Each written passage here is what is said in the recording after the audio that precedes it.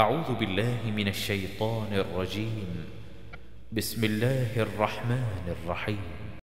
حدثنا قتيبة بن سعيد الثقفي. حدثنا الليث عن عقيل عن الزهري أخبرني عبيد الله بن عبد الله بن عتبة عن أبي هريرة قال لما توفي رسول الله صلى الله عليه وسلم واستخلف أبو بكر بعده وكفر من كفر من العرب قال عمر بن الخطاب لأبي بكر كيف تقاتل الناس وقد قال رسول الله صلى الله عليه وسلم أمرت أن أقاتل الناس حتى يقول يقولوا لا إله إلا الله فمن قال لا إله إلا الله عصم مني ماله ونفسه إلا بحقه وحسابه على الله. عز وجل. فقال أبو بكر والله لأقاتلن من فرق بين الصلاة والزكاة فإن الزكاة حق المال. والله لو منعوني عقالا كانوا يؤدونه إلى رسول الله صلى الله عليه وسلم لقاتلتهم على منعه. فقال عمر بن الخطاب فوالله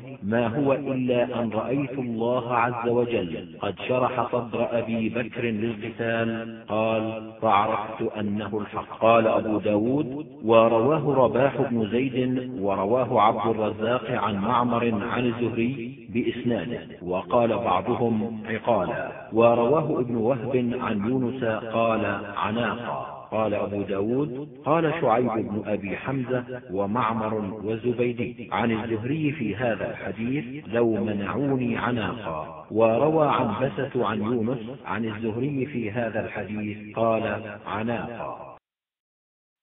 حدثنا ابن السرح وسليمان بن داود. قالا أخبرنا ابن وهب أخبرني يونس عن الزهري. هذا الحديث قال قال أبو بكر إن حقه أداء الزكاة وقال عقالا.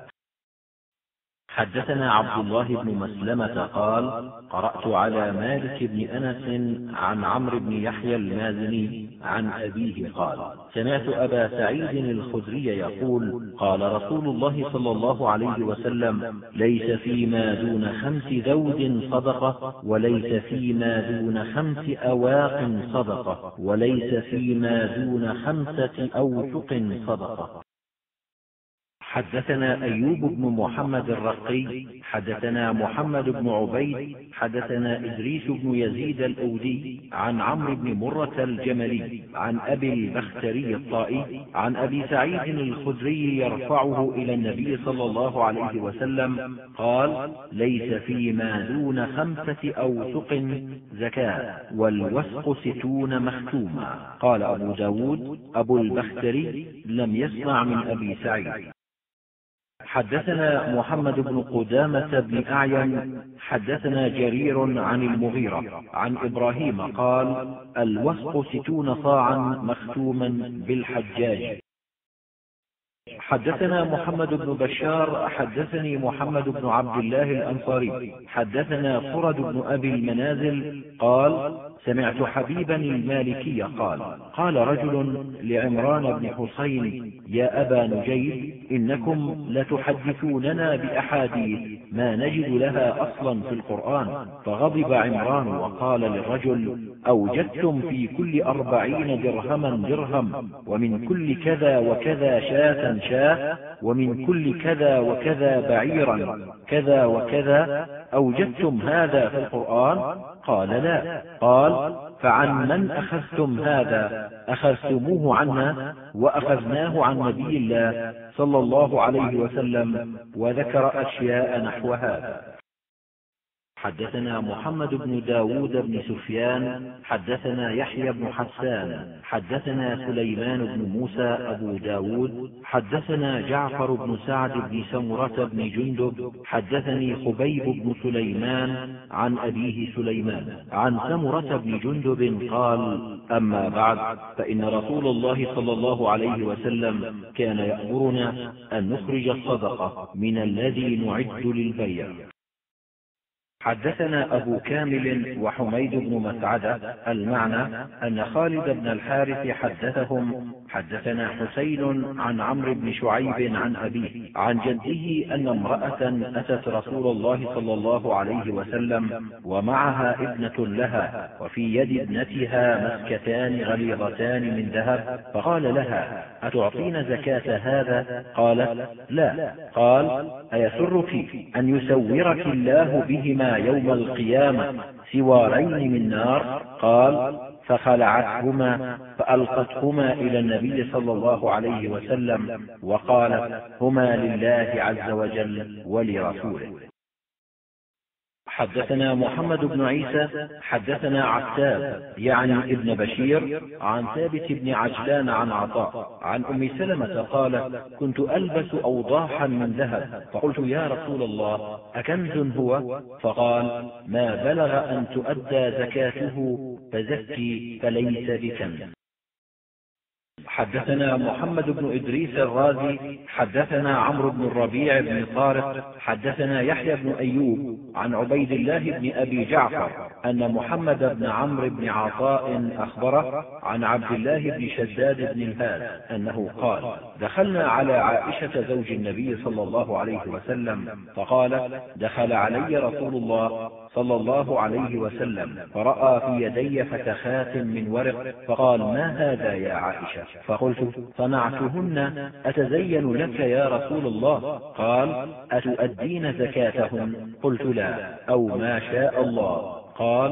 هو حسبك من النار. حدثنا صفوان بن صالح حدثنا الوليد بن مسلم حدثنا سفيان عن عمر بن يعلى فذكر الحديث نحو حديث الخاتم. قيل لسفيان كيف تزكيه قال تضمه إلى غيره حدثنا موسى بن إسماعيل حدثنا حماد قال أخذت من ثمامة بن عبد الله بن أنس كتابا زعم أن أبا بكر كتبه لأنس وعليه خاتم رسول الله صلى الله عليه وسلم حين بعثه مصدقا وكتبه له. فإذا فيه هذه فريضة الصدقة التي فرضها رسول الله صلى الله عليه وسلم على المسلمين التي أمر الله عز وجل بها نبيه صلى الله عليه وسلم.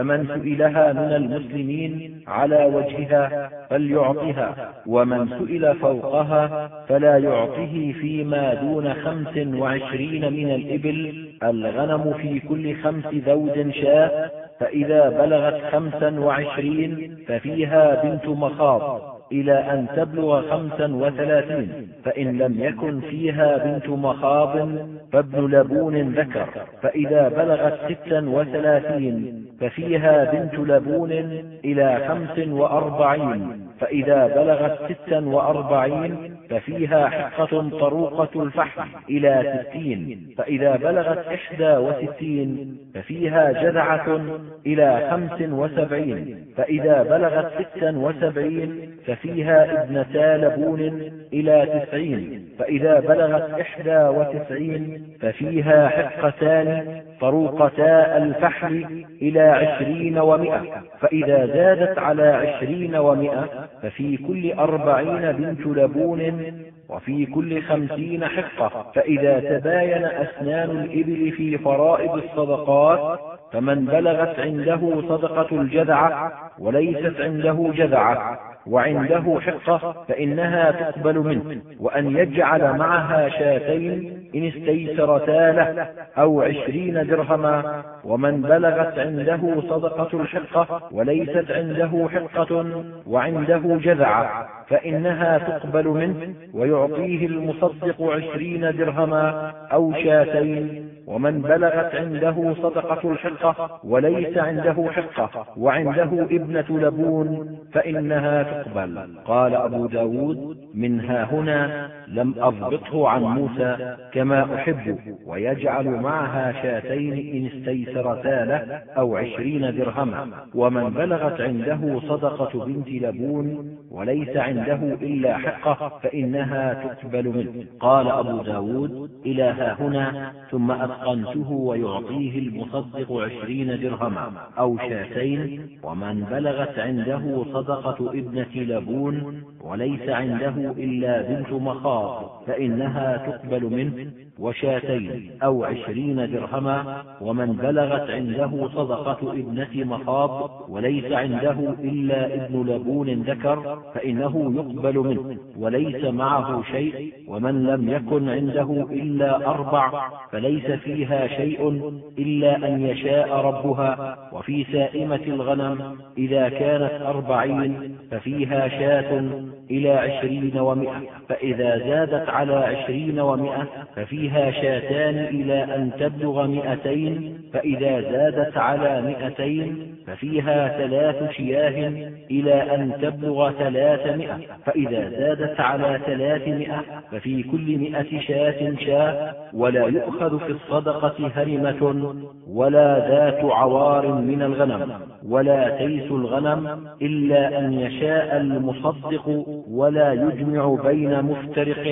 ولا يفرق بين مجتمع خشية الصدقة وما كان من خليطين فإنهما يتراجعان بينهما بالسوية فإن لم تبلغ سائمة الرجل أربعين فليس فيها شيء إلا أن يشاء ربها وفي الرقة ربع العشر فإن لم يكن المال إلا تسعين ومائة فليس فيها شيء إلا أن يشاء ربها.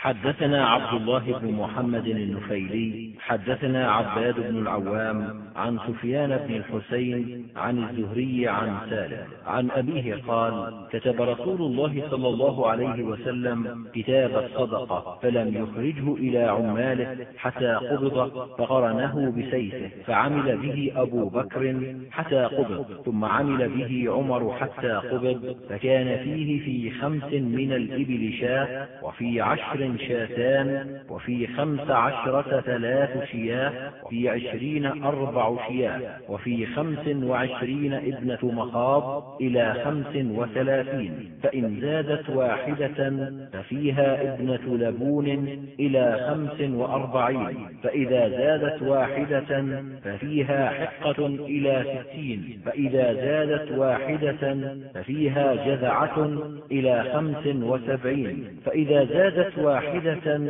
ففيها ابنتا لبون إلى تسعين فإذا زادت واحدة ففيها حقتان إلى عشرين ومائة فإن كانت الإبل أكثر من ذلك ففي كل خمسين حقة وفي كل أربعين ابنة لبون وفي الغنم في كل أربعين شاة شاة إلى عشرين ومائة فإن زادت واحدة فشاتان إلى مائتين فإن زادت واحدة على المائتين ففيها ثلاث شياه إلى ثلاثمائة. فإن كانت الغنم أكثر من ذلك ففي كل مائة شاة شاة. وليس فيها شيء حتى تبلغ المئة ولا يفرق بين مجتمع ولا يجمع بين متفرق مخافة الصدقة. وما كان من خليطين فإنهما يتراجعان بينهما بالسوية. ولا يؤخذ في الصدقة هرمة ولا ذات عين. قال وقال الزهري إذا جاء المصدق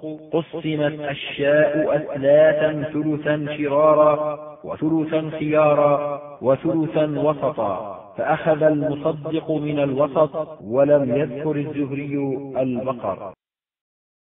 حدثنا عثمان بن أبي شيبة حدثنا محمد بن يزيد الواسطي أخبرنا سفيان بن حسين بإسناده ومعناه. قال فإن لم تكن ابنة مخاض فابن لبون ولم يذكر كلام الزهري.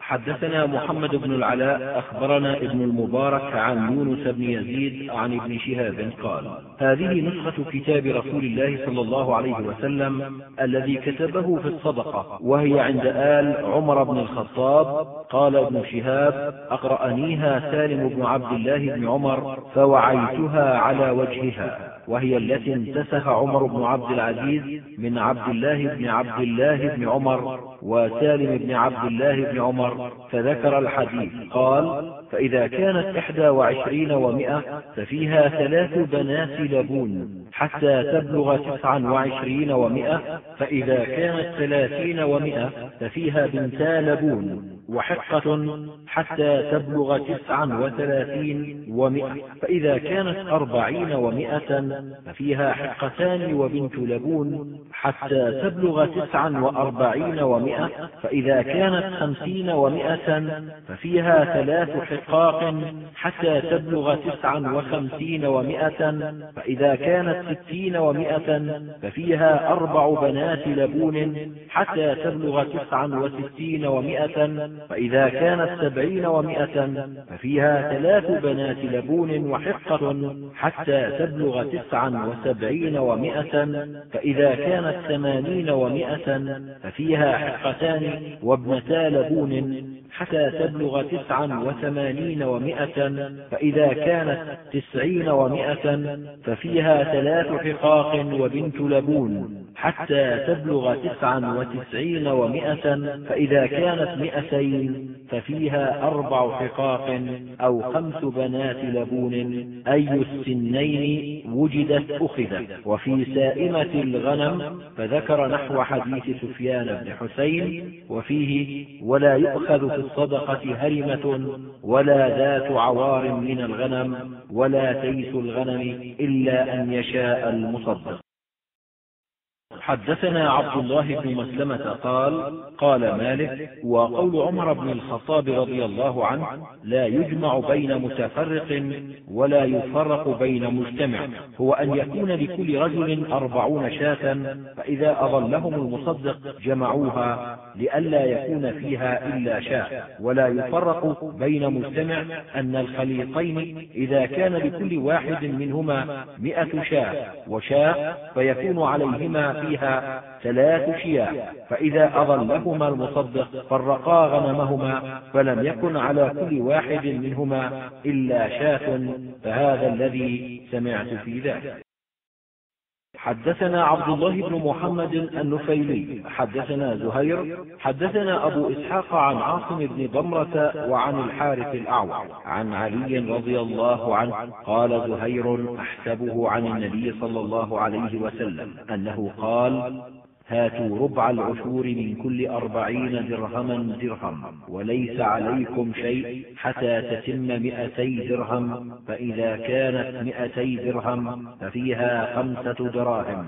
فما زاد فعلى حساب ذلك وفي الغنم في أربعين شاة شاة فإن لم يكن إلا تسع وثلاثون فليس عليك فيها شيء وساق صدقة الغنم مثل الزهري قال وفي البقر في كل ثلاثين تبيع وفي الأربعين مسنة وليس على العوامل شيء وفي الإبل فذكر صدقتها كما ذكر الزهري قال وفي خمس وعشرين خمسة من الغنم فإذا زادت واحدة ففيها ابنة مخاض فإن لم تكن بنت مخاض فابن لبون ذكر إلى خمس وثلاثين فإذا زادت واحدة ففيها بنت لبون إلى خمس وأربعين فإذا زادت واحدة ففيها حقة طروقة الجمل إلى ستين. ثم ساق مثل حديث الزهري قال فإذا زادت واحدة يعني واحدة وتسعين ففيها حقتان طروقتا الجمل إلى عشرين ومئة. فإن كانت الإبل أكثر من ذلك ففي كل خمسين حقة ولا يفرق بين مجتمع ولا يجمع بين مفترق خشية الصدقة ولا تؤخذ في الصدقة هرمة ولا ذات عوار ولا تيس إلا أن يشاء المصدق وفي النبات ما سقته الأنهار أو سقت السماء العشر وما سقى الغرب ففيه نصف العشر. وفي حديث عاصم والحارث الصدقة في كل عام. قال زهير أحسبه قال مرة. وفي حديث عاصم إذا لم يكن في الإبل ابنة مخاض ولا ابن لبون فعشرة دراهم أو شاتان.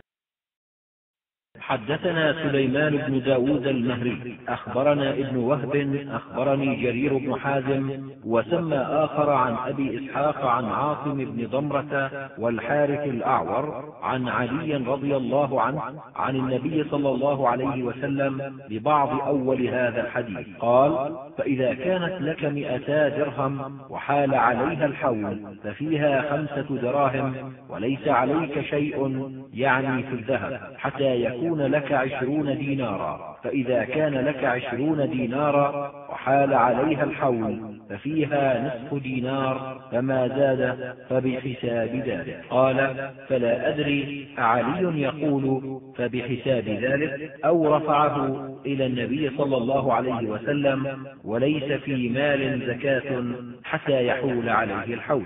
إلا أن جريرا قال ابن وهب يزيد في الحديث عن النبي صلى الله عليه وسلم ليس في مال زكاة حتى يحول عليه الحول.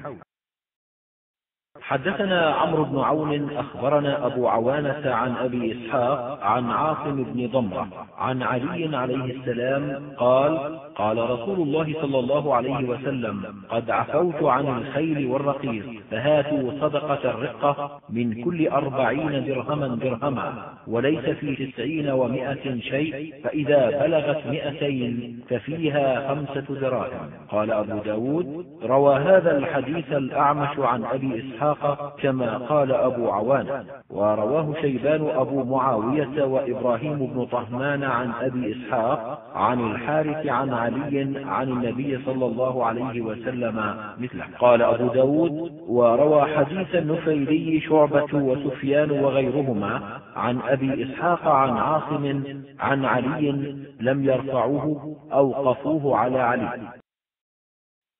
حدثنا موسى بن إسماعيل حدثنا حماد أخبرنا بهز بن حكيم وحدثنا محمد بن العلاء وأخبرنا أبو أسامة عن بهز بن حكيم عن أبيه عن جده أن رسول الله صلى الله عليه وسلم قال في كل سائمة إبل في أربعين بنت لبون ولا يفرق إبل عن حسابها من أعطاها مؤتجرا قال ابن العلاء مؤتجرا بها فله أجرها ومن منعها فإنا آخذوها وشطر ماله عزمة من عزمات ربنا عز وجل ليس لآل محمد منها شيء. حدثنا النفيلي حدثنا أبو معاوية عن الأعمش عن أبي وائل. عن معاذ أن النبي صلى الله عليه وسلم لما وجهه إلى اليمن أمره أن يأخذ من البقر من كل ثلاثين تبيعا أو تبيعة ومن كل أربعين مسنة ومن كل حالم يعني محتلما دينارا أو عدله من المعافر ثياب تكون باليمن. حدثنا عثمان بن أبي شيبة والنفيلي وابن المثنى. قالوا حدثنا أبو معاوية حدثنا الأعمش عن إبراهيم عن مسروق عن معاذ عن النبي صلى الله عليه وسلم مثله. حدثنا هارون بن زيد بن أبي الزرقاء حدثنا أبي عن سفيان عن الأعمش عن أبي وائل عن مسروق عن معاذ بن جبل قال بعثه النبي صلى الله عليه وسلم إلى اليمن فذكر مثله. لم يذكر ثيابا تكون باليمن ولا ذكر يعني محتلما. قال أبو ب داود ورواه جرير ويعلى ومعمر وشعبة وأبو عوانة ويحيى بن سعيد عن الأعمش عن أبي وائل عن مسروق قال يعلى ومعمر عن معاذ مثله.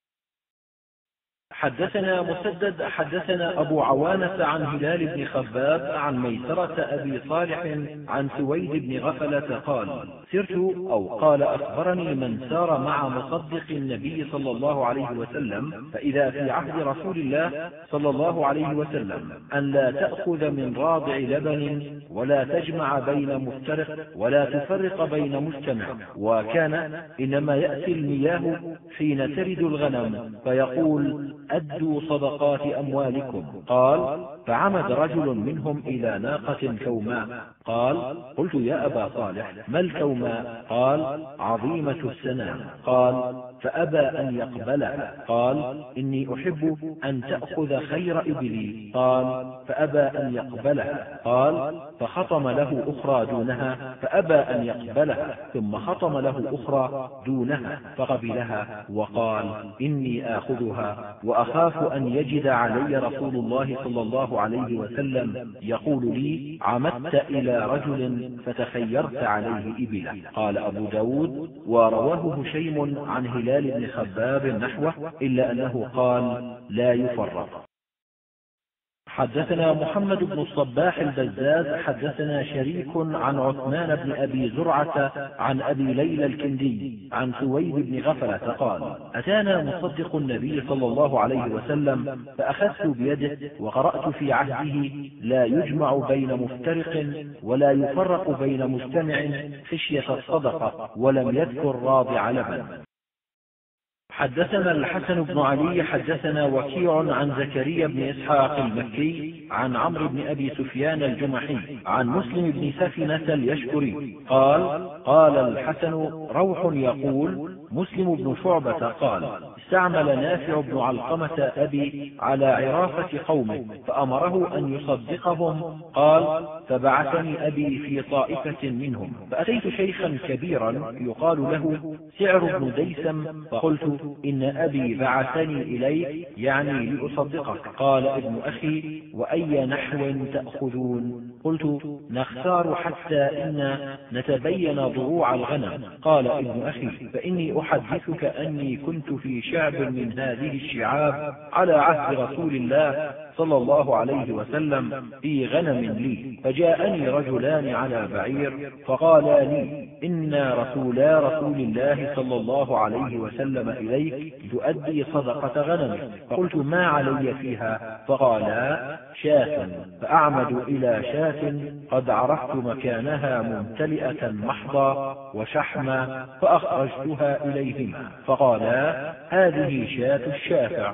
وقد نهانا رسول الله صلى الله عليه وسلم أن نأخذ شافعا. قلت فأي شيء تأخذان؟ قالا عناقا جذعة أو ثنية. قال فأعمد إلى عناق معطاط والمعطاط التي لم تلد ولدا وقد حان ولادها فأخرجتها إليهما. فقالا ناولناها فجعلاها معهما. على بعيرهما ثم انطلقا. قال أبو ب داود رواه أبو عاصم عن زكريا. قال أيضا مسلم بن شعبة كما قال روح. حدثنا محمد بن يونس النسائي. حدثنا روح حدثنا زكريا بن إسحاق. بإسناده بهذا الحديث قال مسلم بن شعبة قال فيه والشافع التي في بطنها الولد. قال أبو ب داود وقرأت في كتاب عبد الله بن سالم بحمص عند آل عمرو بن الحارث الحمصي عن الزبيدي. قال وأخبرني يحيى بن جابر عن جبير بن نفير عن عبد الله بن معاوية الغاضري من غاضرة قيس. قال قال النبي صلى الله عليه وسلم ثلاث من فعلهن فقد طعم طعم الإيمان. من عبد الله وحده وأنه لا إله إلا الله وأعطى زكاة ماله طيبة بها نفسه رافدة عليه كل عام ولا يعطي الهرمة ولا الدرنة ولا المريضة ولا الشرط اللئيمة ولكن من وسط أموالكم فإن الله لم يسألكم خيره ولم يأمركم بشره. حدثنا محمد بن منصور حدثنا يعقوب بن إبراهيم حدثنا أبي عن ابن إسحاق قال حدثني عبد الله بن أبي بكر عن يحيى بن عبد الله بن عبد الرحمن بن سعد بن زرارة عن عمارة بن عمرو بن حزم عن أبي بن كعب قال بعثني النبي صلى الله عليه وسلم مصدقا فمررت برجل فلما جمع لي ماله لم أجد عليه فيه إلا ابنة مخاض فقلت له أد ابنة مخاض فإنها صدقتك فقال ذاك ما لا لبن فيه ولا ضفر ولكن هذه ناقة فتية عظيمة سمينة فخذها. فقلت له ما أنا بآخذ ما لم أؤمر به وهذا رسول الله صلى الله عليه وسلم منك قريب فإن أحببت أن تأتيه فاعرض عليه ما عرضت علي فافعل. فإن قبله منك قبلته وإن رده عليك رددته. قال فإني فاعل. فخرج معي وخرج بالناقة التي عرض علي حتى قدمنا على رسول الله صلى الله عليه وسلم. فقال له يا نبي الله أتاني رسولك ليأخذ مني صدقة مالي؟ وإيم الله ما قام في مالي رسول الله صلى الله عليه وسلم ولا رسوله قط قبله فجمعت له مالي فزعم أن ما علي فيه ابنة مخاض وذلك ما لا لبن فيه ولا ظهر وقد عرضت عليه ناقة فتية عظيمة ليأخذها فأبى علي وها هي ذي قد جئتك بها يا رسول الله خذها فقال له رسول الله صلى الله عليه وسلم ذاك الذي عليك فإن تطوعت بخير آجرك الله فيه وقبلناه منك. قال فها هي ذه يا رسول الله قد جئتك بها فخذها. قال فأمر رسول الله صلى الله عليه وسلم بقبضها ودعا له في ماله بالبركة. حدثنا أحمد بن حنبل حدثنا وكيع حدثنا زكريا بن إسحاق المكي عن يحيى بن عبد الله بن صيفي عن أبي معبد عن ابن عباس أن رسول الله صلى الله عليه وسلم بعث معاذا إلى اليمن فقال إنك تأتي قوما أهل كتاب فادعهم إلى شهادة أن لا إله إلا الله وأني رسول الله فإن هم أطاعوك لذلك فأعلمهم أن الله افترض عليهم خمس صلوات في كل يوم وليلة فإن هم أطاعوك لذلك فأعلمهم أن الله افترض عليهم صدقة في أموالهم تؤخذ من أغنيائهم وترد على فقرائهم. فإنهم أطاعوك لذلك فإياك وكرائم أموالهم واتق دعوة المظلوم فإنها ليس بينها وبين الله حجاب.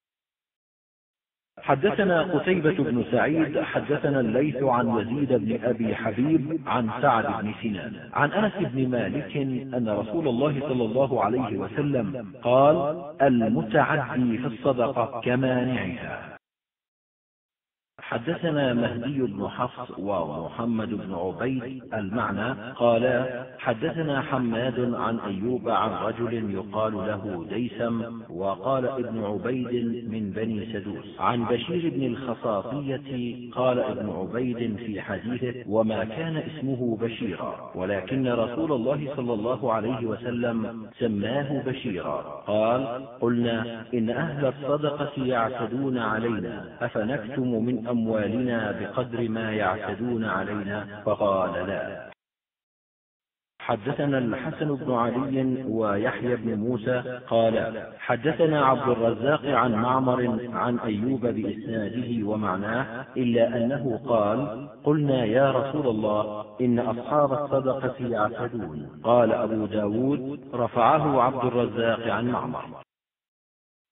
حدثنا عباس بن عبد العظيم ومحمد بن المثنى قالا حدثنا بشر بن عمر عن أبي الغصن عن صخر بن إسحاق عن عبد الرحمن بن جابر بن عتيق عن أبيه أن رسول الله صلى الله عليه وسلم قال سيأتيكم ركيب مبغضون فإن جاءوكم فرحبوا بهم وخلوا بينهم وبين ما يبتغون فإن عدلوا فلأنفسهم وإن ظلموا فعليها وأرضوهم فإن تمام زكاتكم رضاهم وليدعوا لكم.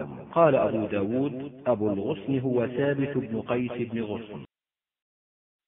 حدثنا أبو كامل حدثنا عبد الواحد يعني ابن زياد وحدثنا عثمان بن أبي شيبة حدثنا عبد الرحيم بن سليمان وهذا حديث أبي كامل عن محمد بن أبي إسماعيل. حدثنا عبد الرحمن بن هلال العبسي عن جرير بن عبد الله قال جاء ناس يعني من الأعراب إلى رسول الله صلى الله عليه وسلم فقالوا إن ناسا من المصدقين يأتون فيظلمون قال فقال أرضوا مصدقيكم. قالوا يا رسول الله وإن ظلمونا؟ قال أرضوا مصدقيكم زاد عثمان وإن ظلمتم. قال أبو كامل في حديثه قال جرير ما صدر عني مصدق بعدما سمعت هذا من رسول الله صلى الله عليه وسلم إلا وهو عني راض.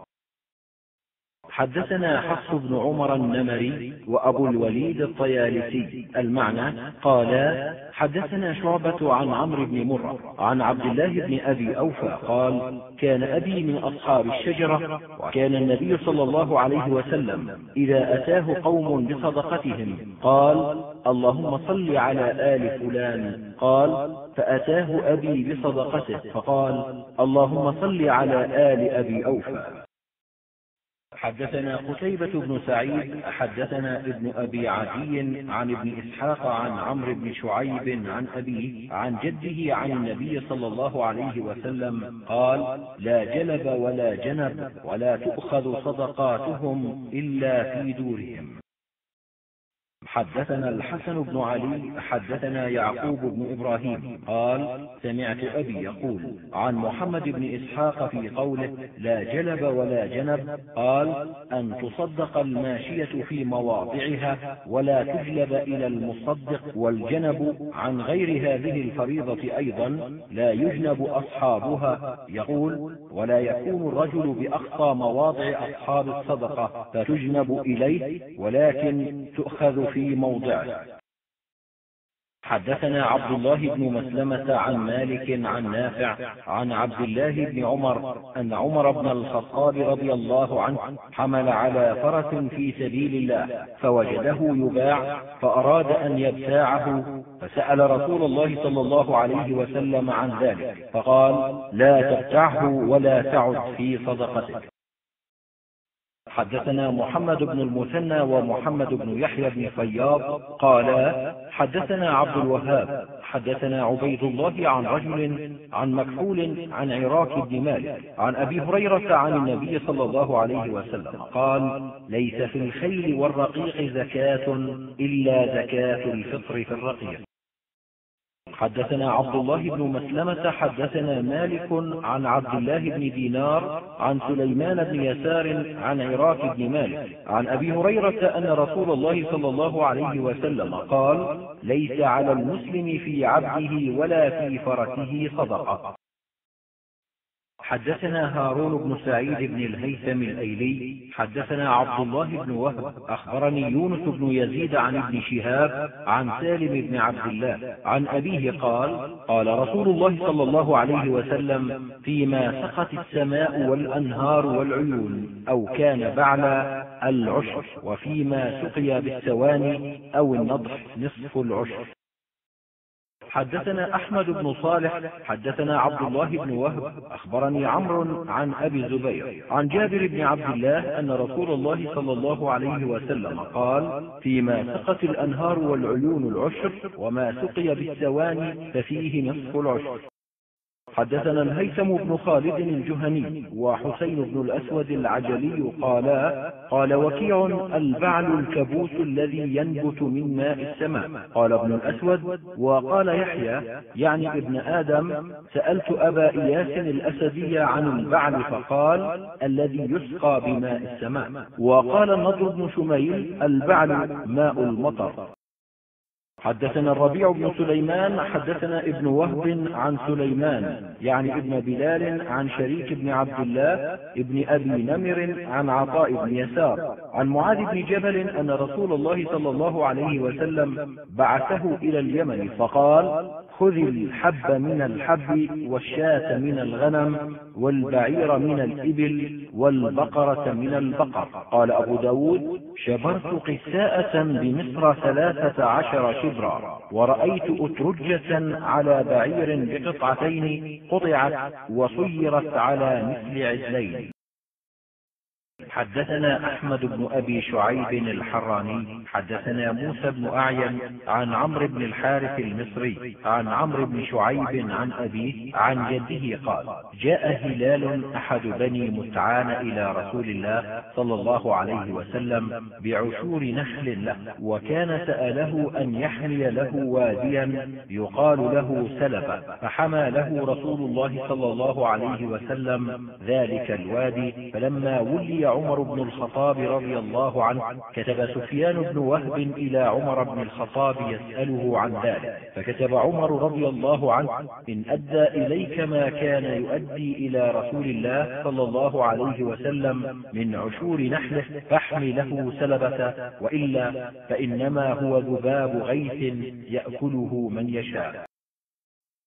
حدثنا أحمد بن عبدة الضبي حدثنا المغيرة ونسبه إلى عبد الرحمن بن الحارث المخزومي قال حدثني أبي عن عمرو بن شعيب عن أبيه عن جده أن شبابة بطن من فهم فذكر نحوه قال من كل عشر قرب قربة وقال سفيان بن عبد الله الثقفي قال وكان يحمي لهم واديين زاد فأدوا إليه ما كانوا يؤدون إلى رسول الله صلى الله عليه وسلم وحمى لهم وادييهم.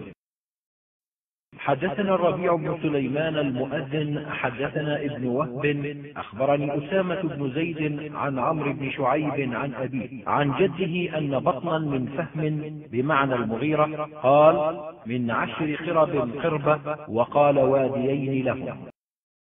حدثنا عبد العزيز بن السري الناقد حدثنا بشر بن منصور عن عبد الرحمن بن إسحاق عن الزهري عن سعيد بن المسيب عن عتاب بن أسيد قال أمر رسول الله صلى الله عليه وسلم أن يخرص العنب كما يخرص النخل وتؤخذ زكاته زبيبا كما تؤخذ زكاة النخل تمرا. حدثنا محمد بن إسحاق المسيبي حدثنا عبد الله بن نافع عن محمد بن صالح التمار عن ابن شهاب بإسناده ومعناه. قال أبو ب داود سعيد لم يسمع من عتاب شيئا. حدثنا حفص بن عمر حدثنا شعبة عن حبيب بن عبد الرحمن. عن عبد الرحمن بن مسعود قال جاء سهل بن أبي حسمة إلى مجلسنا قال أمرنا رسول الله صلى الله عليه وسلم. قال إذا خرجتم فجذوا ودعوا الثلث فإن لم تدعوا أو تجذوا الثلث فدعوا الربع. قال أبو ب داود الخارث يدع الثلث للحرفة. حدثنا يحيى بن معين حدثنا حجاج عن ابن جريج قال أخبرت عن ابن شهاب عن عروة عن عائشة رضي الله عنها أنها قالت وهي تذكر شأن خيبر. كان النبي صلى الله عليه وسلم يبعث عبد الله بن رواحة إلى يهود فيخرط النخل حين يطيب قبل أن يؤكل منه. حدثنا محمد بن يحيى بن فارس حدثنا سعيد بن سليمان حدثنا عباد عن سفيان بن حسين عن الزهري عن أبي أمامة بن سهل عن أبيه قال نهى رسول الله صلى الله عليه وسلم عن الجعرور ولون الحبيق أن يؤخذا في الصدقة. قال الزهري لونين من تمر المدينة. قال أبو ب داود وأسنده أيضا أبو الوليد عن سليمان بن كثير عن الزهري. حدثنا نصر بن عاصم الأنطاكي حدثنا يحيى يعني القطان عن عبد الحميد بن جعفر حدثني صالح بن أبي عريب عن كثير بن مرة عن عوف بن مالك قال دخل علينا رسول الله صلى الله عليه وسلم المسجد وبيده عصا وقد علق رجل قنا حشفا فطعن بالعصا في ذلك القن وقال لو شاء رب هذه الصدقة تصدق بأطيب منها. وقال قال إن رب هذه الصدقة يأكل الحشف يوم القيامة. حدثنا محمود بن خالد الدمشقي وعبد الله بن عبد الرحمن السمرقندي. قالا حدثنا مروان. قال عبد الله حدثنا أبو يزيد الخولاني. وكان شيخ صدق وكان ابن وهب يروي عنه. حدثنا سيار بن عبد الرحمن. قال محمود الصدفي عن عكرمة عن ابن عباس قال فرض رسول الله صلى الله عليه وسلم زكاة الفطر طهرة للصائم من اللغو والرفث وطعمة للمساكين. من أداها قبل الصلاة فهي زكاة مقبولة ومن أداها بعد الصلاة فهي صدقة من الصدقات.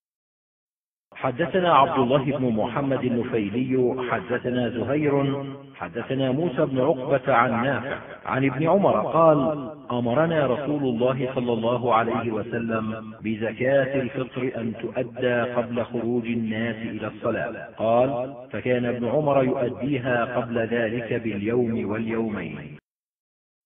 حدثنا عبد الله بن مسلمة حدثنا مالك وقرأه علي مالك أيضا عن نافع عن ابن عمر أن رسول الله صلى الله عليه وسلم فرض زكاة الفطر قال فيه فيما قرأه علي مالك زكاة الفطر من رمضان صاع من تمر أو صاع من شعير على كل حر أو عبد ذكر أو أنثى من المسلمين.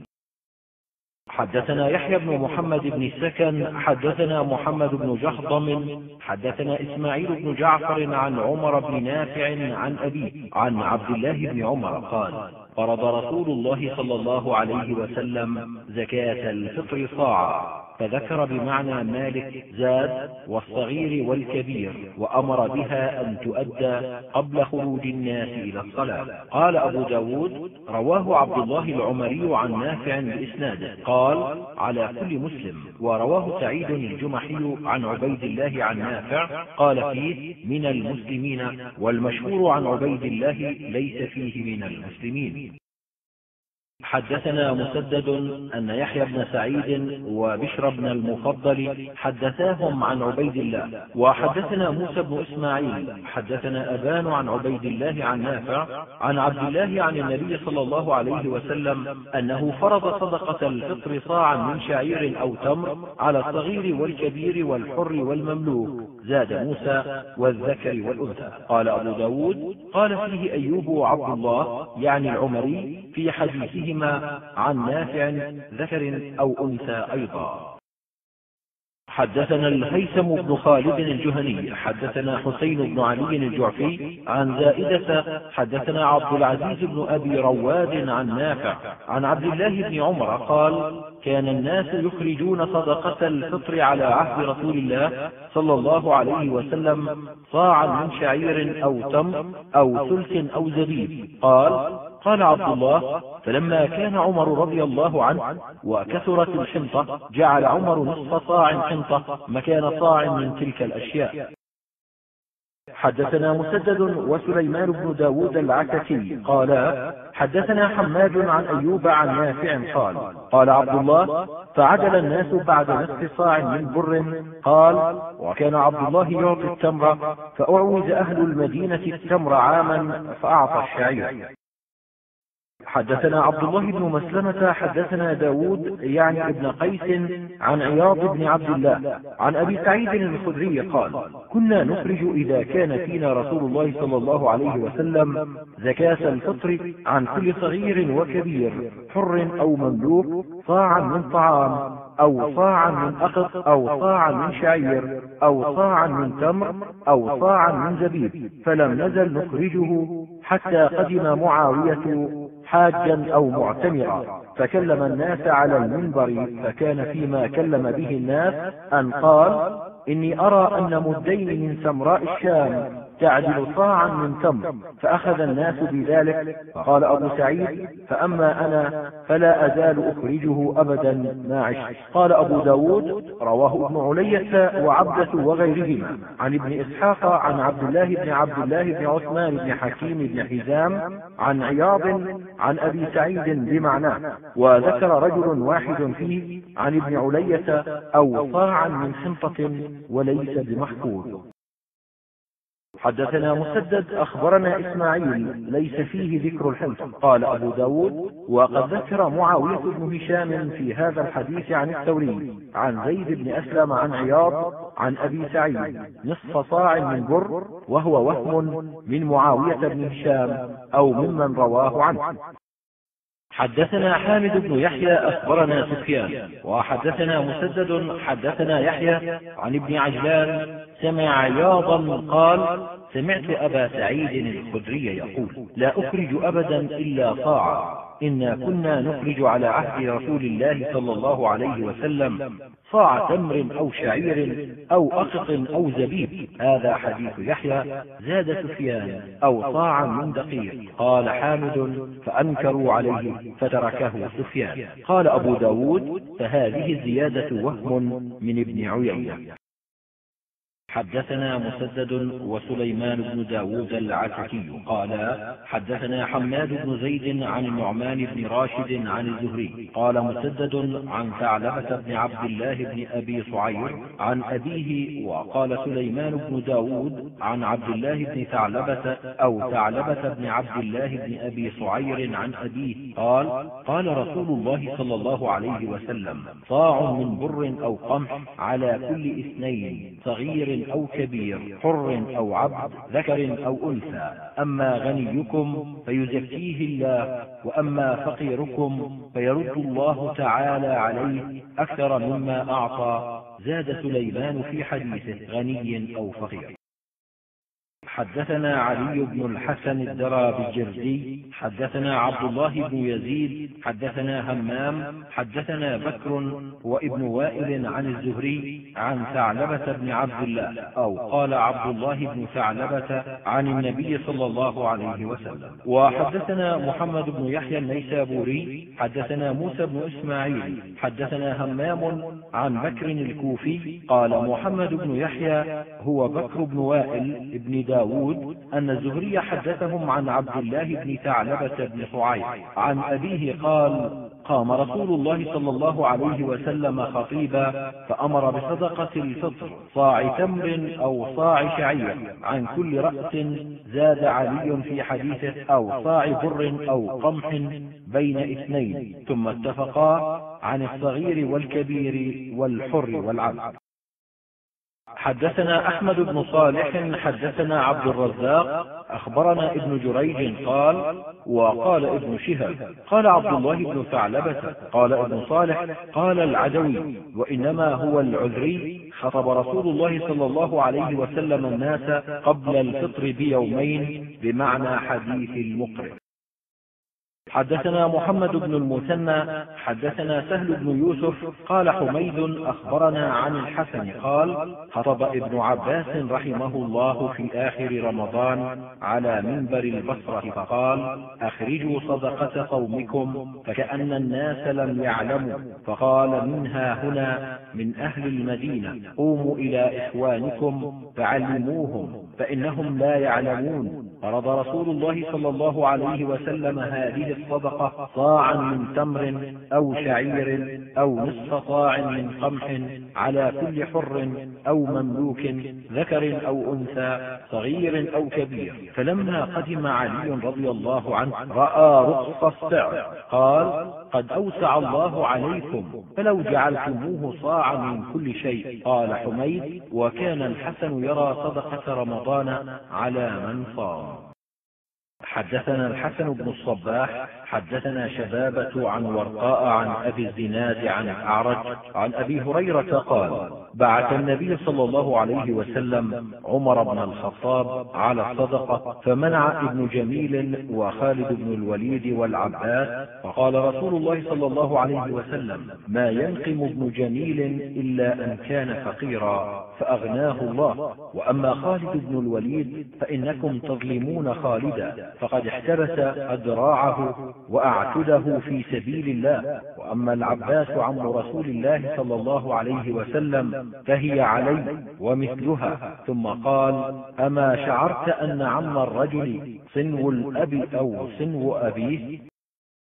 حدثنا سعيد بن منصور حدثنا إسماعيل بن زكريا عن الحجاج بن دينار عن الحكم عن حجية عن علي أن العباس سأل النبي صلى الله عليه وسلم في تعجيل صدقته قبل أن تحل فرخص له في ذلك قال مرة فأذن له في ذلك. قال أبو ب داود روى هذا الحديث هشيم عن منصور بن زادان عن الحكم عن الحسن بن مسلم عن النبي صلى الله عليه وسلم وحديث هشيم أصح. حدثنا نصر بن علي أخبرنا أبي أخبرنا إبراهيم بن عطاء مولى عمران بن حسين عن أبيه أن زيادا أو بعض الأمراء بعث عمران بن حسين على الصدقة فلما رجع قال لعمران أين المال؟ قال وللمال أرسلتني أخذناها من حيث كنا نأخذها على عهد رسول الله صلى الله عليه وسلم ووضعناها حيث كنا نضعها على عهد رسول الله صلى الله عليه وسلم. حدثنا الحسن بن علي حدثنا يحيى بن آدم حدثنا سفيان عن حكيم بن جبير عن محمد بن عبد الرحمن بن يزيد عن أبيه عن عبد الله قال قال رسول الله صلى الله عليه وسلم من سأل وله ما يغنيه جاءت يوم القيامة خموش أو خدوش أو كدوح في وجهه. فقال يا رسول الله وما الغنى؟ قال خمسون درهما أو قيمتها من الذهب. قال يحيى فقال عبد الله بن عثمان لسفيان حفظي أن شعبة لا يروي عن حكيم بن جبير. فقال سفيان حدثناه زيد عن محمد بن عبد الرحمن بن يزيد. حدثنا عبد الله بن مسلمة عن مالك عن زيد بن أسلم عن عطاء بن يسار عن رجل من بني أسد أنه قال نزلت أنا وأهلي ببقيع الغرقد فقال لي أهلي اذهب إلى رسول الله صلى الله عليه وسلم فسله لنا شيئا نأكله فجعلوا يذكرون حاجتهم فذهبت إلى رسول الله صلى الله عليه وسلم فوجدت عنده رجلا يسأله ورسول الله صلى الله عليه وسلم وسلم يقول لا أجد ما أعطيه فتولى الرجل عنه وهو مغضب وهو يقول لعمري إنك لتعطي من شئت. فقال رسول الله صلى الله عليه وسلم يغضب علي أن لا أجد ما أعطيه. من سأل منكم وله أوقية أو عدها فقد سأل إلحافا. قال الأسدي فقلت للقحة لنا خير من أوقية والأوقية أربعون درهما. قال فرجعت ولم أسأله فقدم على رسول الله صلى الله عليه وسلم بعد ذلك شعير وزبيب فقسم لنا منه أو كما قال حتى أغنانا الله عز وجل. قال أبو ب داود هكذا رواه الثوري كما قال مالك. حدثنا قتيبة بن سعيد وهشام بن عمار قال حدثنا عبد الرحمن بن أبي الرجال عن عمارة بن غزية عن عبد الرحمن بن أبي سعيد الخدري عن أبيه أبي سعيد قال قال رسول الله صلى الله عليه وسلم من سأل وله قيمة أوقية فقد ألحح فقلت ناقتي الياقوتة هي خير من أوقية. قال هشام خير من أربعين درهما. فرجعت فلم أسأله شيئا. زاد هشام في حديثه وكانت الأوقية على عهد رسول الله صلى الله عليه وسلم أربعين درهما. حدثنا عبد الله بن محمد النفيلي حدثنا مسكين حدثنا محمد بن المهاجر عن ربيعة بن يزيد عن أبي كبشة السلولي. حدثنا سهل بن الحنظلية قال قدم على رسول الله صلى الله عليه وسلم عيينة بن حصن والأقرع بن حابس فسألاه فأمر لهما بما سألا. وأمر معاوية فكتب لهما بما سألا. فأما الأقرع فأخذ كتابه فلفه في عمامته. وانطلق. وأما عيينة فأخذ كتابه وأتى النبي صلى الله عليه وسلم مكانه فقال يا محمد أتراني حاملا إلى قومي كتابا؟ لا أدري ما فيه كصحيفة متلمس فأخبر معاوية بقوله رسول الله صلى الله عليه وسلم فقال رسول الله صلى الله عليه وسلم من سأل وعنده ما يغنيه فإنما يستكثر من النار. وقال النفيلي في موضع آخر من جمر جهنم. فقالوا يا رسول الله وما يغنيه؟ وقال النفيلي في موضع آخر وما الغنى الذي لا تنبغي معه المسألة؟ قال قدر ما يغذيه ويعشيه. وقال النفيلي في موضع آخر أن يكون له شبع يوم وليلة أو ليلة ويوم. وكان حدثنا به مختصرا على هذه الألفاظ التي ذكر حدثنا عبد الله بن مسلمة حدثنا عبد الله يعني ابن عمر بن غانم عن عبد الرحمن بن زياد. أنه سمع زياد بن نعيم الحضرمي أنه سمع زياد بن الحارث الصدائي قال أتيت رسول الله صلى الله عليه وسلم فبايعته فذكر حديثا طويلا. قال فأتاه رجل فقال أعطني من الصدقة. فقال له رسول الله صلى الله عليه وسلم إن الله تعالى لم يرضى بحكم نبي ولا غيره في الصدقات حتى حكم فيها هو فجزأها ثمانية أجزاء فإن كنت من تلك الأجزاء أعطيتك حقه حدثنا عثمان بن أبي شيبة وزهير بن حرب قالا حدثنا جرير عن الأعمش عن أبي صالح عن أبي هريرة قال قال رسول الله صلى الله عليه وسلم ليس المسكين الذي ترده التمرة والتمرتان والأكلة والأكلتان ولكن المسكين الذي لا يسأل الناس شيئا ولا يفطنون به فيعطونه. حدثنا مسدد وعبيد الله بن عمر وأبو كامل. المعنى قالوا حدثنا عبد الواحد بن زياد حدثنا معمر عن الزهري عن أبي سلمة. عن أبي هريرة قال قال رسول الله صلى الله عليه وسلم مثله. قال ولكن المسكين المتعفف. زاد مسدد في حديثه ليس له ما يستغني به الذي لا يسأل ولا يعلم بحاجته فيتصدق عليه فذاك المحروم. ولم يذكر مسدد المتعفف الذي لا يسأل. قال أبو ب داود روى هذا الحديث محمد بن ثور وعبد الرزاق عن معمر وجعلا المحروم من كلام الزهري وهو أصح.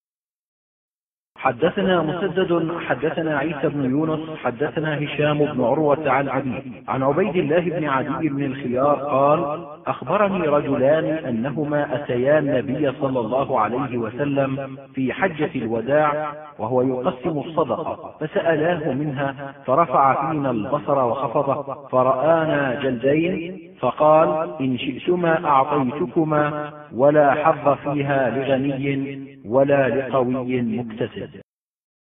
حدثنا عباد بن موسى الأنباري الختلي حدثنا إبراهيم يعني ابن سعد قال أخبرني أبي عن ريحان بن يزيد عن عبد الله بن عمرو عن النبي صلى الله عليه وسلم قال لا تحل الصدقة لغني ولا لذي مرة سوي. قال أبو ب داود رواه سفيان عن سعد بن إبراهيم كما قال إبراهيم ورواه شعبة عن سعد قال لذي مرة قوي والأحاديث الأخر عن النبي صلى الله عليه وسلم بعضها لذي مرة قوي وبعضها لذي مرة سوي. وقال عطاء بن زهير أنه لقي عبد الله بن عمرو فقال إن الصدقة لا تحل لقوي ولا لذي مرة سوي.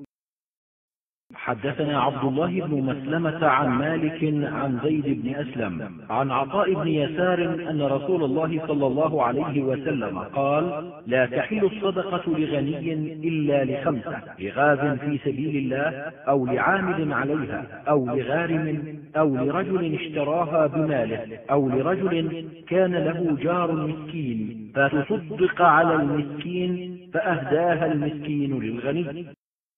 حدثنا الحسن بن علي حدثنا عبد الرزاق أخبرنا معمر عن زيد بن أسلم عن عطاء بن يسار عن أبي سعيد الخدري قال قال رسول الله صلى الله عليه وسلم بمعناه قال أبو ب داود ورواه ابن عيينة عن زيد كما قال مالك ورواه الثوري عن زيد قال حدثني السبت عن النبي صلى الله عليه وسلم. حدثنا محمد بن عوف الطائي حدثنا الفريابي حدثنا سفيان عن عمران البارقي عن عطية عن أبي سعيد قال قال رسول الله صلى الله عليه وسلم لا تحل الصدقة لغني إلا في سبيل الله أو ابن السبيل أو جار فقير يتصدق عليه فيهدي لك أو يدعو. قال أبو ب داود ورواه فراس وابن أبي ليلى عن عطية عن أبي سعيد. عن النبي صلى الله عليه وسلم مثله. حدثنا الحسن بن محمد بن الصباح حدثنا أبو نعيم حدثني سعيد بن عبيد الطائي عن بشير بن يسار زعم أن رجلا من الأنصار يقال له سهل بن أبي حسمة أخبره أن النبي صلى الله عليه وسلم وداه بمئة من إبل الصدقة يعني دية الأنصاري الذي قتل بخيبر. حدثنا حفص بن عمر النمري حدثنا شعبة عن عبد الملك بن عمير عن زيد بن عقبة الفزاري عن سمرة عن النبي صلى الله عليه وسلم قال المسائل كدوح يكدح بها الرجل وجهه فمن شاء أبقى على وجهه ومن شاء ترك إلا أن يسأل الرجل ذا سلطان أو في أمر لا يجد منه بدا. حدثنا مسدد حدثنا حماد بن زيد عن هارون بن رئاب قال حدثني كنانة بن نعيم العدوي عن قبيصة بن مخارق الهلالي قال تحملت حمالة فأتيت النبي صلى الله عليه وسلم فقال أقم يا قبيصة حتى تأتينا الصدقة فنأمر لك بها. ثم قال يا قبيصة إن المسألة لا تحل إلا لأحد ثلاثة. رجل تحمل حمالة فحلت له المسألة فسأل حتى يصيبها ثم يمسك ورجل أصابته جائحة فاجتاحت ماله فحلت له المسألة فسأل حتى يصيب قواما من عيش أو قال سدادا من عيش ورجل أصابته فاقة حتى يقول ثلاثة من ذوي الحجى من قومه قد أصابت فلانا الفاقة فحلت له المسألة فسأل حتى يصيب قواما من عيش أو سدادا من عيش ثم يمسك وما سواهن من المسألة يا قبيصة سحت يأكلها صاحبها سحتا حدثنا عبد الله بن مسلمة أخبرنا عيسى بن يونس عن الأخضر بن عجلان عن أبي بكر الحنفي عن أنس بن مالك أن رجلا من الأنصار أتى النبي صلى الله عليه وسلم يسأله فقال أما في بيتك شيء؟ قال بلى حلس نلبس بعضه ونبسط بعضه وقعب نشرب فيه من الماء. قال ائتني بهما. قال فأتاه بهما فأخذهما رسول الله صلى الله عليه وسلم بيده وقال من يشتري هذين؟ قال رجل أنا آخذهما بدرهم. قال من يزيد على درهم؟ مرتين. أو ثلاثة. قال رجل أنا آخذهما بدرهمين. فأعطاهما إياه وأخذ الدرهمين وأعطاهما الأنصاري. وقال اشتري لأحدهما طعاما فانبذه إلى أهله واشتري للآخر قدوما فأتني به فأتاه به فشد فيه رسول الله صلى الله عليه وسلم عودا بيده ثم قال له اذهب فاحتطب وبع ولا أرينك خمسة عشر يوما. فذهب الرجل يحتطب ويبيع. فجاء وقد أصاب عشرة دراهم فاشترى ببعضها ثوبا وببعضها طعاما. فقال رسول الله صلى الله عليه وسلم هذا خير لك من أن تجيء المسألة نكتة في وجهك يوم القيامة. إن المسألة لا تصلح إلا لثلاثة لذي فقر مدقع أو لذي غرم مفضع أو لذي دم موجع. حدثنا هشام بن عمار حدثنا الوليد حدثنا سعيد بن عبد العزيز عن ربيعة يعني ابن يزيد عن أبي إدريس الخولاني عن أبي مسلم الخولاني قال حدثني الحبيب الأمين أما هو إلي فحبيب وأما هو عندي فأمين. عوف بن مالك قال كنا عند رسول الله صلى الله عليه وسلم سبعة أو ثمانية أو تسعة. فقال ألا تبايعون رسول الله صلى الله عليه وسلم وكنا حديث عهد ببيعة؟ قلنا قد بايعناك حتى قالها ثلاثة. فبسطنا أيدينا فبايعناه فقال قائل يا رسول الله إنا قد بايعناك فعلام نبايعك. قال أن تعبدوا الله ولا تشركوا به شيئا. وتصلوا الصلوات الخمس وتسمعوا وتطيعوا. وأسر كلمة خفية. قال ولا تسألوا الناس شيئا. قال ولقد كان بعض أولئك النفر يسقط صوته فما يسأل أحدا أن يناوله إياه. قال أبو ب داود حديث هشام لم يروه إلا سعيد. حدثنا عبيد الله بن معاذ حدثنا أبي حدثنا شعبة عن عاصم عن أبي العالي عن ثوبان قال وكان ثوبان مولى رسول الله صلى الله عليه وسلم. قال قال رسول الله صلى الله عليه وسلم من يكفل لي أن لا يسأل الناس شيئا وأتكفل له بالجنة. فقال ثوبان أنا. فكان لا يسأل أحدا شيئا. حدثنا عبد الله بن مسلمة عن مالك عن ابن شهاب عن عطاء بن يزيد الليثي عن أبي سعيد الخدري أن ناسا من الأنصار سألوا رسول الله صلى الله عليه وسلم فأعطاهم ثم سألوه فأعطاهم حتى إذا نفد ما عنده قال ما يكون عندي من خير فلن أدخره عنكم ومن يستعفف يعفه الله. ومن يستغني يغنه الله ومن يتصبر يصبره الله وما أعطى الله أحدا من عطاء أوسع من الصبر. حدثنا مسدد حدثنا عبد الله بن داود وحدثنا عبد الملك بن حبيب أبو مروان حدثنا ابن المبارك وهذا حديثه عن بشير بن سلمان عن سيار أبي حمزة عن طارق عن ابن مسعود قال قال رسول الله صلى الله عليه وسلم من أصابته فاقة فأنزلها بالناس لم تسد فاقته ومن أنزلها بالله أوشك الله له بالغنى إما بموت عاجل أو غنى عاجل. حدثنا قتيبة بن سعيد حدثنا الليث بن سعد عن جعفر بن ربيعة عن بكر بن سوادة عن مسلم بن مخشي عن ابن الفراسي أن الفراسي قال لرسول الله صلى الله عليه وسلم أسأل يا رسول الله؟ فقال النبي صلى الله عليه وسلم لا وإن كنت سائلا لا بد فاسأل الصالحين. حدثنا أبو الوليد الطيالسي حدثنا الليث عن بكير بن عبد الله بن الأشج عن بسر بن سعيد عن ابن الساعدي قال استعملني عمر رضي الله عنه على الصدقة فلما فرغت منها وأديتها إليه أمر لي بعمالة فقلت إنما عملت لله وأجري على الله. قال خذ ما أعطيت فإني قد عملت على عهد رسول الله صلى الله عليه وسلم فعملني فقلت مثل قوله فقال لي رسول الله صلى الله عليه وسلم إذا أعطيت شيئا من غير أن تسأله فكل وتصدق.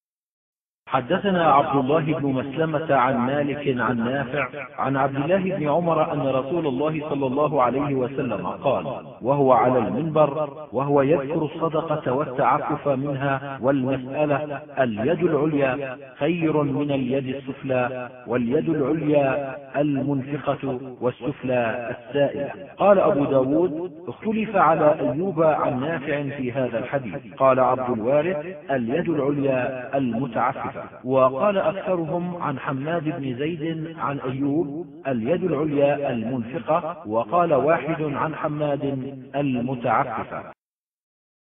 حدثنا أحمد بن حنبل حدثنا عبيدة بن حميد التيمي حدثني أبو الزعراء عن أبي الأحوص عن أبيه مالك بن نضلة قال قال رسول الله صلى الله عليه وسلم الأيدي ثلاثة فيد الله العليا ويد المعطي التي تليها ويد السائل السفلى فأعطي الفضل ولا تعجز عن نفسك.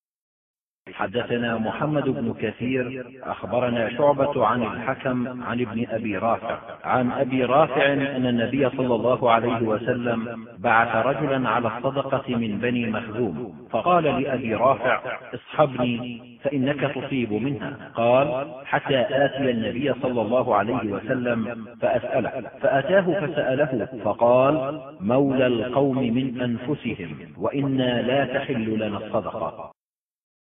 حدثنا موسى بن إسماعيل ومسلم بن إبراهيم المعنى قالا حدثنا حماد عن قتادة عن أنس أن النبي صلى الله عليه وسلم كان يمر بالتمرة العائرة فما يمنعه من أخذها إلا مخافة أن تكون صدقة.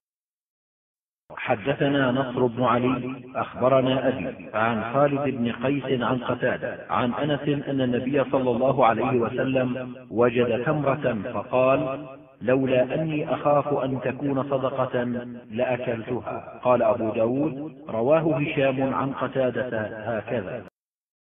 حدثنا محمد بن عبيد المحاربي حدثنا محمد بن فضيل عن الأعمش عن حبيب بن أبي ثابت عن كريب مولى بن عباس عن ابن عباس قال بعثني أبي إلى النبي صلى الله عليه وسلم في إبل أعطاها إياه من الصدقة. حدثنا محمد بن العلاء وعثمان بن أبي شيبة. قالا حدثنا محمد هو ابن أبي عبيدة عن أبيه عن الأعمش عن سالم عن كريب مولى ابن عباس عن ابن عباس نحوه زاد أبي يبدلها له. حدثنا عمرو بن مرزوق قال أخبرنا شعبة عن قتادة عن أنس أن النبي صلى الله عليه وسلم أتي بلحم. قال ما هذا؟ قالوا شيء تصدق به على بريرة. فقال هو لها صدقة ولنا هدية. حدثنا أحمد بن عبد الله بن يونس حدثنا زهير حدثنا عبد الله بن عطاء عن عبد الله بن بريدة عن أبيه بريدة أن امرأة أتت رسول الله صلى الله عليه وسلم فقالت كنت تصدقت على أمي بوليدة وإنها ماتت. وتركت تلك الوليدة قال قد وجب أجرك ورجعت إليك في الميراث. حدثنا قتيبة بن سعيد حدثنا أبو عوانة عن عاصم بن أبي النجود عن شقيق عن عبد الله قال كنا نعد الماعون على عهد رسول الله صلى الله عليه وسلم عارية الدلو والقدر. حدثنا موسى بن إسماعيل حدثنا حماد عن سهيل بن أبي صالح عن أبيه عن أبي هريرة أن رسول الله صلى الله عليه وسلم قال ما من صاحب كنز لا يؤدي حقه إلا جعله الله يوم القيامة يحمى عليها في نار جهنم فتكوى بها جبهته وجنبه وظهره حتى يقضي الله تعالى بين عباده في يوم كان مقداره خمسين ألف سنة مما تعدون ثم يرى سبيله إما إلى الجنة وإما إلى النار. وما من صاحب غنم لا يؤدي حقها إلا جاءت يوم القيامة أوفر ما كانت فيبطح لها بقاع قرقر فتنطحه بقرونها وتطأه بأظلافها ليس فيها عقصاء ولا جلحاء كلما مضت أخراها ردت عليه أولاها حتى يحكم الله بين عباده في يوم كان مقداره خمسين ألف سنة مما تعدون ثم يرى سبيله إما إلى الجنة وإما إلى النار. وما من صاحب إبل لا يؤدي حقها إلا جاءت يوم القيامة أوفر ما كانت فيبطح لها بقاع قرقر فتطأه بخفافها كلما مضت عليه أخراها. ردت عليه أولاها حتى يحكم الله تعالى بين عباده. في يوم كان مقداره خمسين ألف سنة مما تعدون ثم يرى سبيله إما إلى الجنة وإما إلى النار.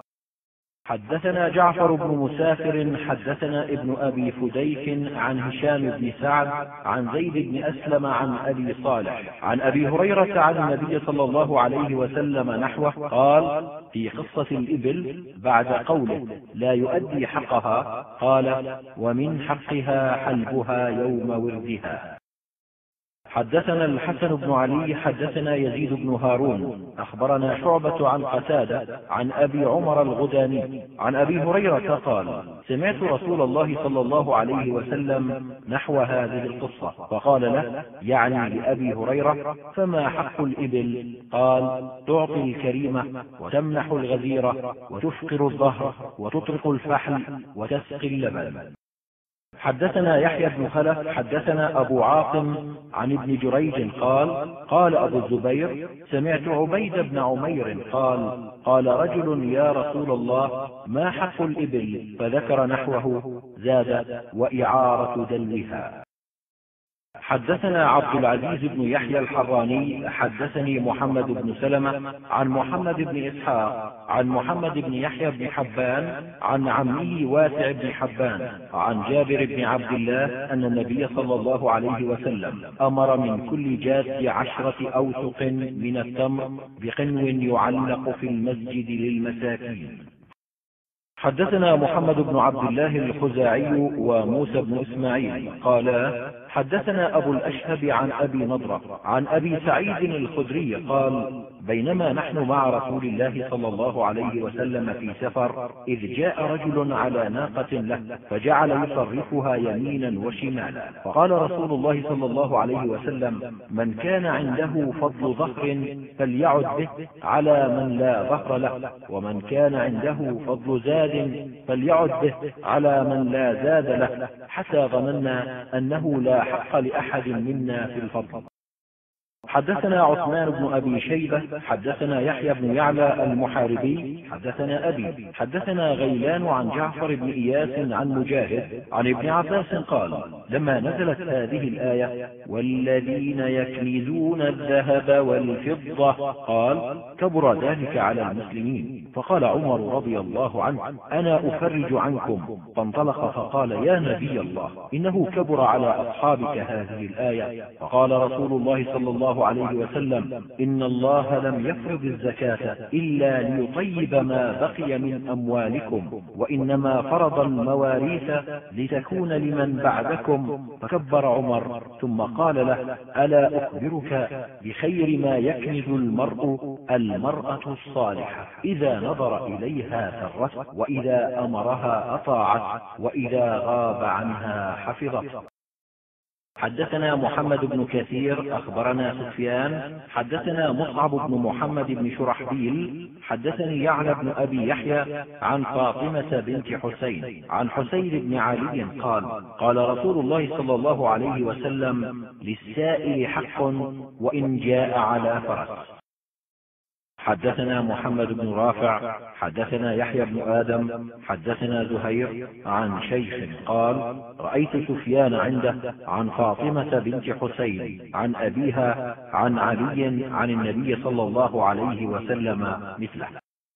حدثنا قتيبة بن سعيد حدثنا الليث عن سعيد بن أبي سعيد عن عبد الرحمن بن بجيد عن جدته أم بجيد وكانت ممن بايع رسول الله صلى الله عليه وسلم أنها قالت له يا رسول الله صلى الله عليه إن المسكين ليقوم على بابي فما أجد له شيئا أعطيه إياه. فقال لها رسول الله صلى الله عليه وسلم إن لم تجدي له شيئا تعطينه إياه إلا ضيفا محرقا فادفعيه إليه في يده.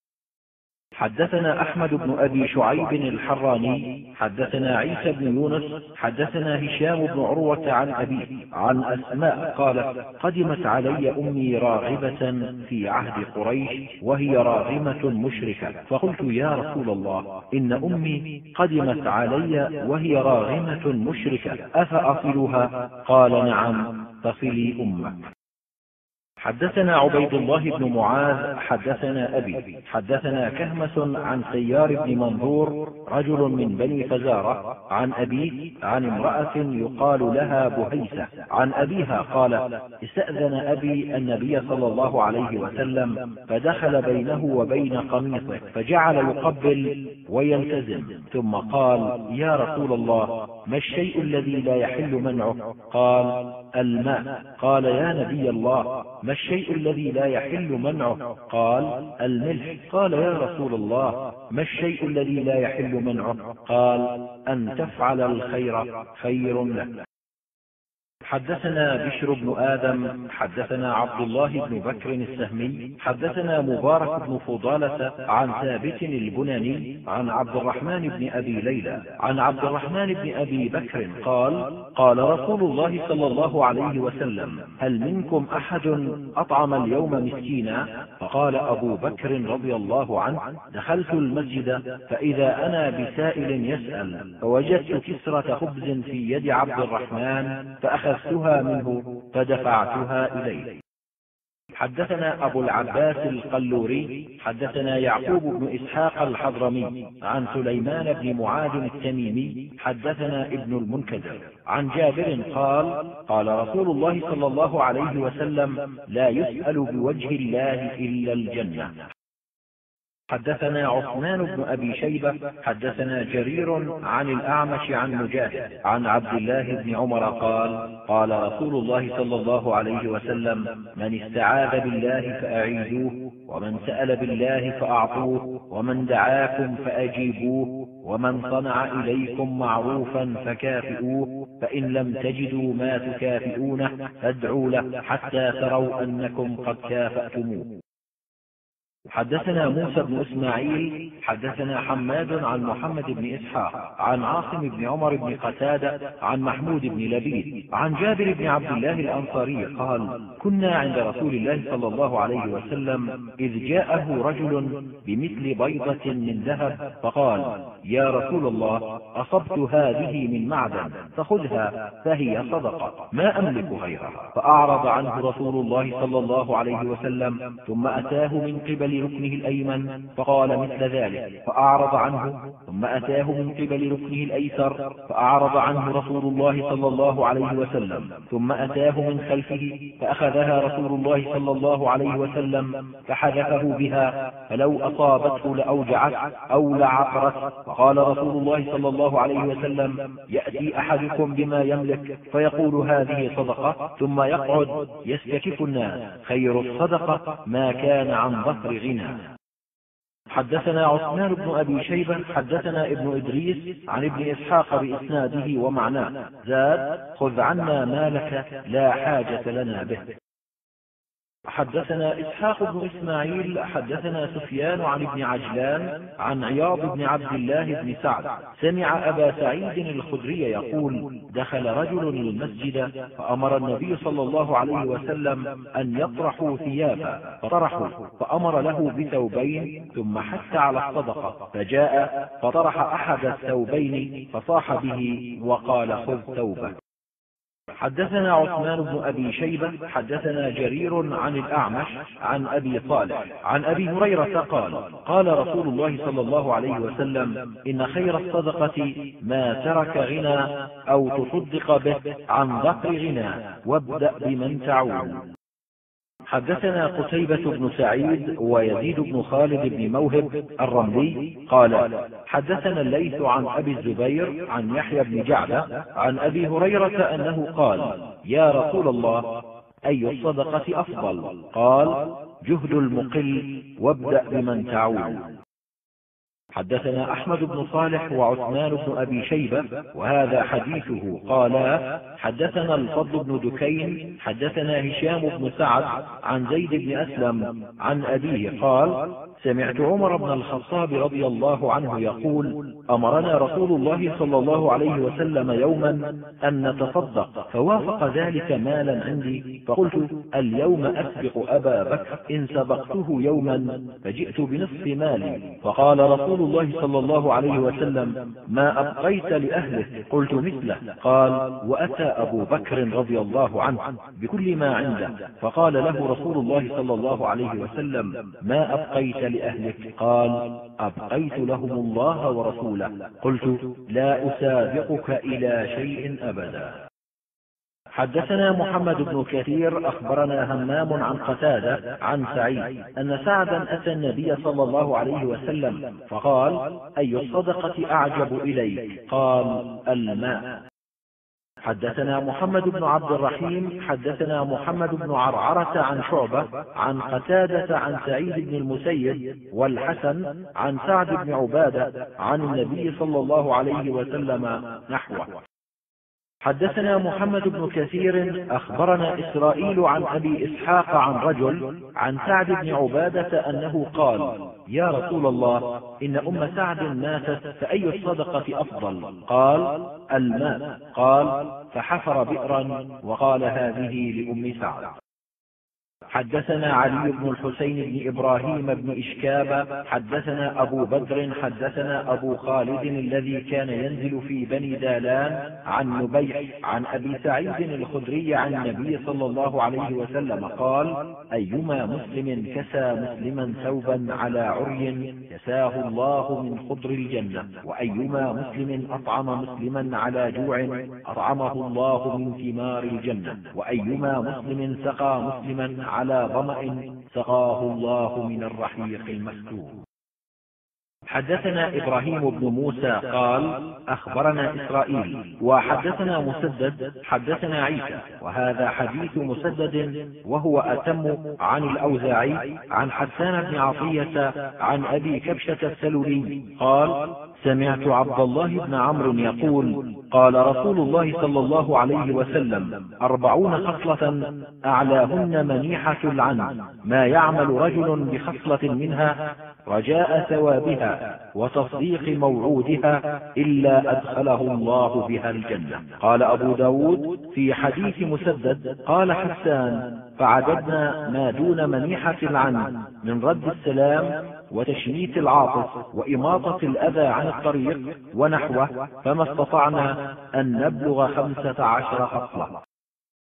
حدثنا عثمان بن أبي شيبة ومحمد بن العلاء المعنى واحد قالا حدثنا أبو أسامة عن بريد بن عبد الله بن أبي بردة عن أبي بردة عن أبي موسى قال قال رسول الله صلى الله عليه وسلم إن الخازن الأمين الذي يعطي ما أمر به كاملا موفرا طيبة به نفسه حتى يدفعه إلى الذي أمر له به أحد المتصدقين. حدثنا مسدد حدثنا أبو عوانة عن منصور عن شقيق عن مسروق عن عائشة رضي الله عنها قالت قال النبي صلى الله عليه وسلم إذا أنفقت المرأة من بيت زوجها غير مفسدة كان لها أجر ما أنفقت ولزوجها أجر ما اكتسب ولخازنه مثل ذلك لا ينقص بعضهم أجر بعض. حدثنا محمد بن سوار المصري. حدثنا عبد السلام بن حرب. عن يونس بن عبيد عن زياد بن جبير بن حية عن سعد قال لما بايع رسول الله صلى الله عليه وسلم النساء قامت امرأة جليلة كأنها من نساء مضر فقالت يا نبي الله إنا كل على آبائنا وأبنائنا. قال أبو ب داود وأرى فيه وأزواجنا فما يحل لنا من أموالهم. فقال الرطب تأكلنه. وتهدينه قال أبو داود الرطب الخبز والبقل والرطب. قال أبو ب داود وكذا رواه الثوري عن يونس. حدثنا الحسن بن علي حدثنا عبد الرزاق أخبرنا معمر عن همام بن منبه قال سمعت أبا هريرة يقول قال رسول الله صلى الله عليه وسلم إذا أنفقت المرأة من كسب زوجها من غير أمره فلها نصف أجره. حدثنا محمد بن سوار المصري. حدثنا عبدة عن عبد الملك عن عطاء عن أبي هريرة في المرأة تصدق من بيت زوجها. قال لا إلا من قوتها والأجر بينهما ولا يحل لها أن تصدق من مال زوجها إلا بإذنه. قال أبو ب داود هذا يضعف حديث همام. حدثنا موسى بن إسماعيل حدثنا حماد هو ابن سلمة عن ثابت. عن أنس قال لما نزلت لن تنالوا البر حتى تنفقوا مما تحبون. قال أبو طلحة يا رسول الله أرى ربنا يسألنا من أموالنا.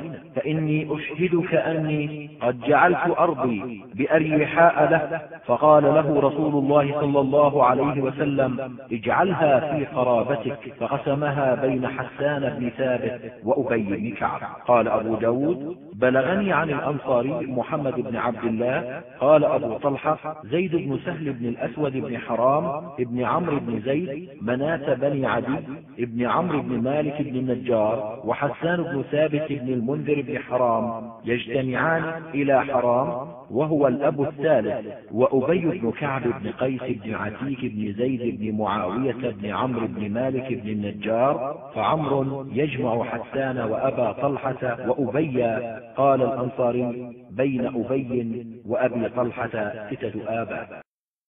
حدثنا هناد بن السري عن عبدة عن محمد بن إسحاق عن بكير بن عبد الله بن الأشج عن سليمان بن يسار عن ميمونة زوج النبي صلى الله عليه وسلم قالت كانت لي جارية فأعتقتها فدخل علي النبي صلى الله عليه وسلم فأخبرته فقال آجرك الله أما إنك لو كنت أعطيتها أخوالك كان أعظم لأجرك.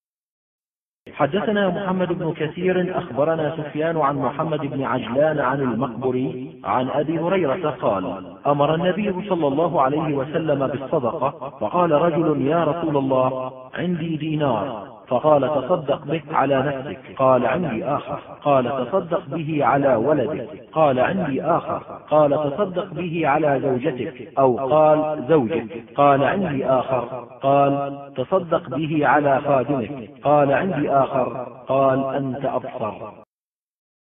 حدثنا محمد بن كثير أخبرنا سفيان. حدثنا أبو إسحاق عن وهب بن جابر الحيواني عن عبد الله بن عمرو. قال قال رسول الله صلى الله عليه وسلم كفى بالمرء إثما أن يضيع من يقوت. حدثنا أحمد بن صالح ويعقوب بن كعب وهذا حديثه قالا حدثنا ابن وهب قال أخبرني يونس عن الزهري عن أنس قال قال رسول الله صلى الله عليه وسلم من سره أن يبسط عليه في رزقه وينسأ في أثره فليطل رحمه. حدثنا مسدد وأبو بكر بن أبي شيبة قالا حدثنا سفيان عن الزهري عن أبي سلمة عن عبد الرحمن بن عوف قال سمعت رسول الله صلى الله عليه وسلم يقول قال الله أنا الرحمن وهي الرحم شققت لها اسما من اسمي من وصلها وصلته ومن قطعها بتته حدثنا محمد بن المتوكل العسقلاني. حدثنا عبد الرزاق. أخبرنا معمر عن الزهري. حدثني أبو سلمة أن الرداد الليثي أخبره عن عبد الرحمن بن عوف أنه سمع رسول الله صلى الله عليه وسلم بمعناه. حدثنا مسدد حدثنا سفيان عن الزهري عن محمد بن جبير بن مطعم. عن أبيه يبلغ به النبي صلى الله عليه وسلم قال لا يدخل الجنة قاطع رحم. حدثنا ابن كثير أخبرنا سفيان عن الأعمش والحسن بن عمرو وفطر عن مجاهد عن عبد الله بن عمرو. قال سفيان ولم يرفعه سليمان إلى النبي صلى الله عليه وسلم ورفعه فطر والحسن. قال قال رسول الله صلى الله عليه وسلم ليس الواصل بالمكافئ ولكن هو الذي إذا قطعت رحمه وصلها. حدثنا حفص بن عمر حدثنا شعبة عن عمرو بن مرة عن عبد الله بن الحارث عن أبي كثير. عن عبد الله بن عمرو قال خطب رسول الله صلى الله عليه وسلم فقال إياكم والشح فإنما هلك من كان قبلكم بالشح أمرهم بالبخل فبخلوا وأمرهم بالقطيعة فقطعوا وأمرهم بالفجور ففجروا. حدثنا مسدد حدثنا إسماعيل أخبرنا أيوب حدثنا عبد الله بن أبي مليكة. حدثتني أسماء بنت أبي بكر قالت قلت يا رسول الله ما لي شيء إلا ما أدخل علي الزبير بيته أفأعطي منه؟ قال أعطي ولا توكي فيوكى عليك حدثنا مسدد حدثنا إسماعيل. أخبرنا أيوب عن عبد الله بن أبي مليكة عن عائشة أنها ذكرت عدة من مساكين. قال أبو ب داود وقال غيره أو عدة من صدقة. فقال لها رسول الله صلى الله عليه وسلم أعطي ولا تحصي فيحصى عليك.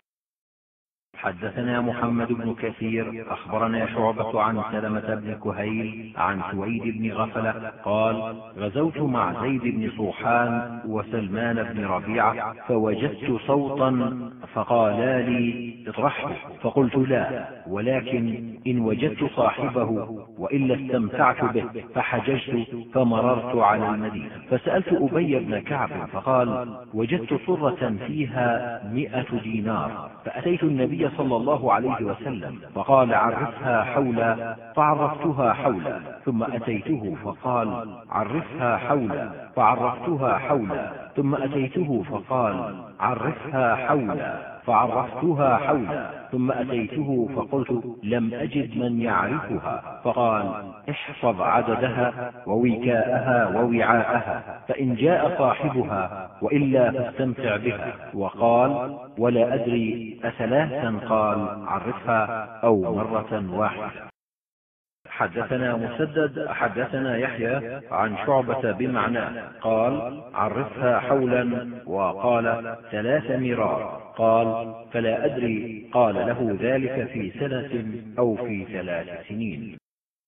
حدثنا موسى بن إسماعيل حدثنا حماد حدثنا سلمة بن كهيل بإسناده ومعناه. قال في التعريف قال عامين أو ثلاثة وقال اعرف عددها ووعاءها ووكاءها. زاد فإن جاء صاحبها فعرف عددها ووكاءها فادفعها إليه. قال أبو ب داود ليس يقول هذه الكلمة إلا حماد في هذا الحديث يعني فعرف عددها. حدثنا قتيبة بن سعيد حدثنا إسماعيل بن جعفر عن ربيعة بن أبي عبد الرحمن عن يزيد مولى المنبعث عن زيد بن خالد الجهني أن رجلا سأل رسول الله صلى الله عليه وسلم عن اللقطة. قال عرفها سنة ثم اعرف وكاءها وعقاصها ثم استنفق بها فإن جاء ربها فأدها إليه. فقال يا رسول الله فضالة الغنم فقال خذها فإنما هي لك أو لأخيك أو للذئب. قال يا رسول الله فضالة الإبل فغضب رسول الله صلى الله عليه وسلم حتى احمرت وجنتاه أو احمر وجهه وقال ما لك ولها معها حذاؤها وسقاؤها حتى يأتيها ربها. حدثنا ابن السرح حدثنا ابن وهب أخبرني مالك بإسناده ومعناه زاد سقاؤها ترد الماء وتأكل الشجر ولم يقل خذها في ضالة الشاء وقال في اللقطة عرفها سنة فإن جاء صاحبها وإلا فشأنك بها ولم يذكر استنفق قال أبو ب داود رواه الثوري وسليمان بن بلال وحماد بن سلمة عن ربيعة مثله لم يقول يقولوا خذها حدثنا محمد بن رافع وهارون بن عبد الله المعنى قالا حدثنا ابن أبي فديك عن الضحاك يعني ابن عثمان عن سالم أبي النضر عن بسر بن سعيد عن زيد بن خالد الجهني أن رسول الله صلى الله عليه وسلم سئل عن اللقطة فقال عرفها سنة فإن جاء باغيها فأدها إليه وإلا فاعرف عفاصها ووكاءها ثم كلها فإن جاء باغيها فأدها إليه. حدثنا أحمد بن حفص حدثني أبي حدثني إبراهيم بن طهمان عن عباد بن إسحاق عن عبد الله بن يزيد عن أبيه يزيد مولى المنبعث عن زيد بن خالد الجهني أنه قال سئل رسول الله صلى الله عليه وسلم فذكر نحو حديث ربيعة قال وسئل عن اللقطة فقال تعرفها حولا فإن جاء صاحبها دفعتها إليه وإلا عرفت وكاءها وعفاصها ثم أفضها في مالك فإن جاء صاحبها فادفعها إليه. حدثنا موسى بن إسماعيل عن حماد بن سلمة عن يحيى بن سعيد وربيعة بإسناد قتيبة ومعناه وزاد فيه فإن جاء باغيها فعرف عفاصها وعددها فادفعها إليه. وقال حماد أيضا عن عبيد الله بن عمر عن عمرو بن شعيب عن أبيه عن جده عن النبي صلى الله عليه وسلم مثله. قال أبو ب داود وهذه الزيادة التي زاد حماد بن سلمة في حديث سلمة بن كهيل ويحيى بن سعيد وعبيد الله بن عمر وربيعة إن جاء صاحبها وعرف عفاصها ووكاءها فادفعها إليه. ليست بمحفوظة فعرف عفاصها ووكاءها. وحديث عقبة بن سويد عن أبيه عن النبي صلى الله عليه وسلم أيضا قال عرفها سنة. وحديث عمر بن الخطاب أيضا عن النبي صلى الله عليه وسلم قال عرفها سنة. حدثنا مسدد حدثنا خالد يعني الطحان وحدثنا موسى بن إسماعيل حدثنا وهيب المعنى عن خالد الحداء عن أبي العلاء عن مطرف يعني ابن عبد الله عن عياض بن حمار قال قال رسول الله صلى الله عليه وسلم من وجد لقطة فليشهد ذا عدل أو ذوي عدل ولا يكتم ولا يغيب فإن وجد صاحبها فليردها عليه وإلا فهو مال الله عز وجل يؤتيه من يشاء.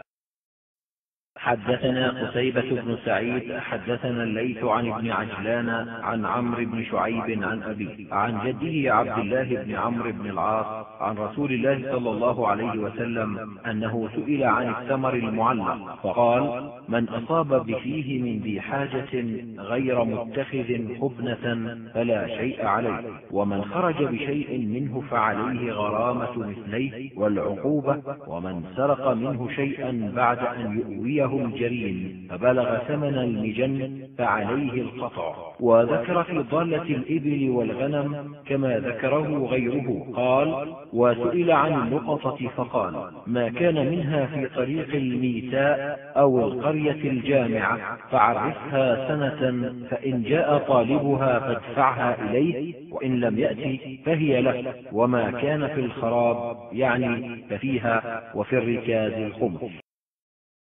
حدثنا محمد بن العلاء حدثنا أبو أسامة عن الوليد يعني ابن كثير حدثني عمرو بن شعيب بإسناده بهذا قال في ضالة الشاء قال فاجمعها. حدثنا مسدد حدثنا أبو عوانة عن عبيد الله بن الأخنس عن عمرو بن شعيب بهذا بإسناده قال في ضالة الغنم لك أو لأخيك أو للذئب خذها قط. وكذا قال فيه أيوب ويعقوب بن عطاء عن عمرو بن شعيب عن النبي صلى الله عليه وسلم. قال فخذها. حدثنا موسى بن إسماعيل حدثنا حماد وحدثنا ابن العلاء حدثنا ابن إدريس عن ابن إسحاق عن عمرو بن شعيب عن أبيه عن جده عن النبي صلى الله عليه وسلم بهذا قال في ضالة الشاء فاجمعها حتى يأتيها باغيها. حدثنا محمد بن العلاء حدثنا عبد الله بن وهب عن عمرو بن الحارث عن بكير بن الأشج عن عبيد الله بن مقسم حدثه عن رجل عن أبي سعيد الخدري أن علي بن أبي طالب وجد دينارا فأتى به فاطمة فسألت عنه رسول الله صلى الله عليه وسلم فقال هو رزق الله عز وجل فأكل منه رسول الله صلى الله عليه وسلم وأكل علي وفاطمة فلما كان بعد ذلك أتته امرأة تنشد الدينار. فقال رسول الله صلى الله عليه وسلم يا علي أد الدينار. حدثنا الهيثم بن خالد الجهني حدثنا وكيع عن سعد بن أوس عن بلال بن يحيى العبسي عن علي رضي الله عنه أنه التقط دينارا فاشترى به دقيقا فعرفه صاحب الدقيق فرد عليه الدينار فأخذه علي وقطع منه قيراطين فاشترى به لحما. حدثنا جعفر بن مسافر التنيسي حدثنا ابن أبي فديك حدثنا موسى بن يعقوب الزمعي عن أبي حازم عن سهل بن سعد. أخبره أن علي بن أبي طالب دخل على فاطمة وحسن وحسين يبكيان فقال ما يبكيهما؟ قال الجوع. فخرج علي فوجد دينارا بالسوق فجاء إلى فاطمة فأخبرها فقال اذهب إلى فلان اليهودي فخذ لنا دقيقا فجاء اليهودي فاشترى به فقال اليهودي أنت خسن هذا الذي يزعم أنه رسول الله؟ قال نعم.